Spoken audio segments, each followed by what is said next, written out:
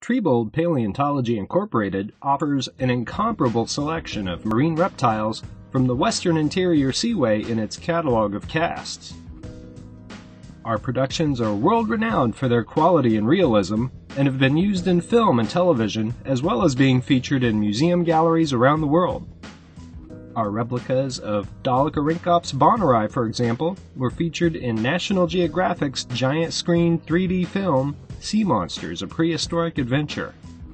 Fast and agile, this short-necked plesiosaur was wider than long.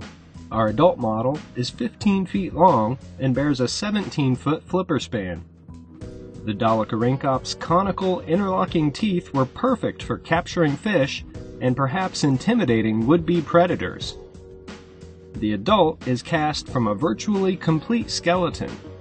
The baby was sculpted using the adult as a guide and adjusting for expected allometry to arrive at just over a two and a half foot length.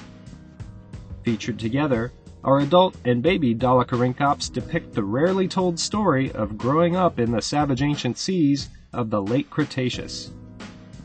Contact Mike Triebold for pricing and information on this or any of our other specimens via email or phone. To view this and a whole museum full of amazing mounted fossil specimens, stop by the RMDRC in our beautiful small mountain town setting just 15 minutes west of Colorado Springs on Highway 24.